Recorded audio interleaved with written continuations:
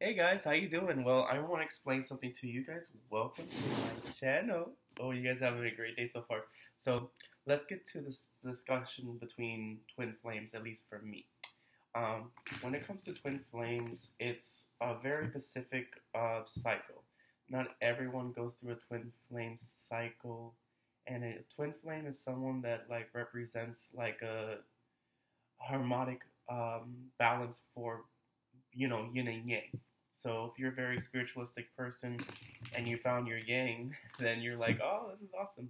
But for other people that do not believe in spirituality or anything like that or have faith in anything, basically, essentially, someone that actually equals your counterpart. Um, they're literally like the like you're the south and the north node of your life. Um, but to me, I feel like a twin flame cycle has to have at least four um, four characteristics uh, characteristics in order for them to actually achieve a full a full happy um, and every single person's different. So that's why it's so interesting how people pursue um, twin flames. Normal time it's usually about the runner and the chaser. That's what also a twin flame situation. Um, most of the time whenever you're going through a twin flame cycle it's like um, it can be toxic and it cannot be toxic. Like it's it because both people have to be willing to give each other like you know feel the universe like feel like both of you guys have to both surrender control so you guys can come together you know? That's what it is about um, having the yin and yang symbol as the symbol of um, inner peace. Um, with my belief system let's see. I wrote all this beautiful things down in my handy dandy. What's that? My whatever my wizarding book. so understanding that we go through cycles that um, you know determine whether we're ready to go or not. And there's always been like a three uh 360 kind of thing. Understanding, you know, mastery of self is one thing. That's the uh, second thing is understanding your indulgence.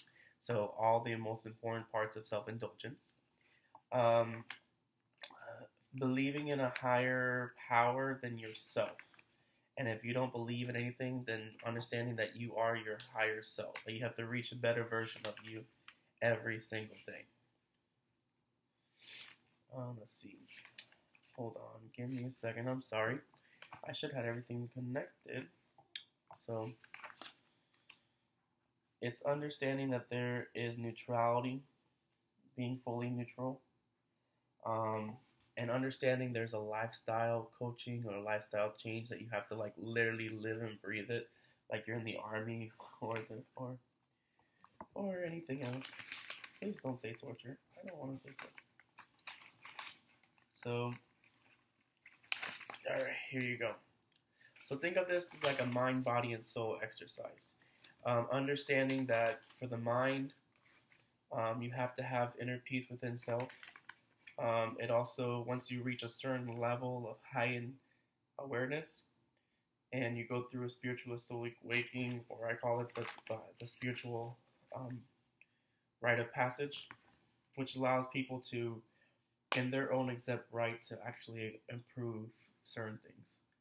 Um, 333 is a very symbiotic number and represents mind, body, and soul. So the mind is always the peace in mind. It's always the peace.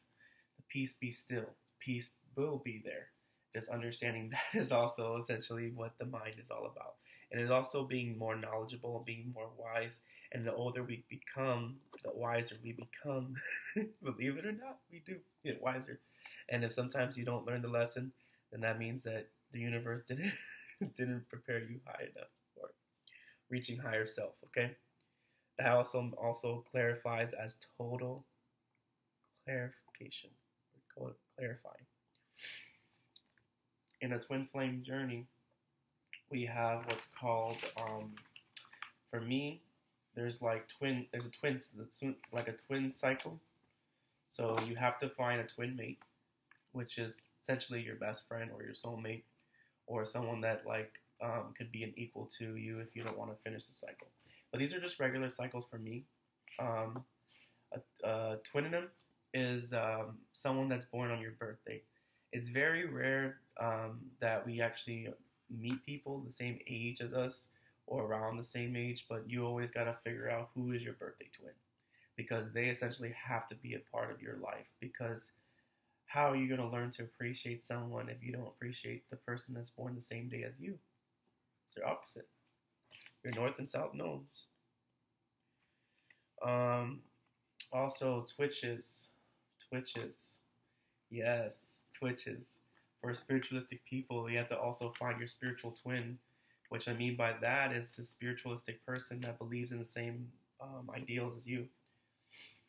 Um, so I have twin them, twin mate, twitches.